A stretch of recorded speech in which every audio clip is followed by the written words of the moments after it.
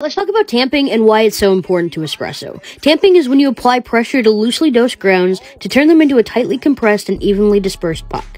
When you first grind or dose your espresso, it comes out something like this, loose and clumpy, and this is not ideal for brewing espresso.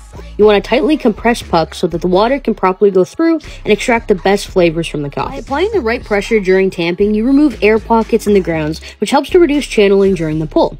The goal of the tamp is to compact and level your puck to prepare for the best shot possible.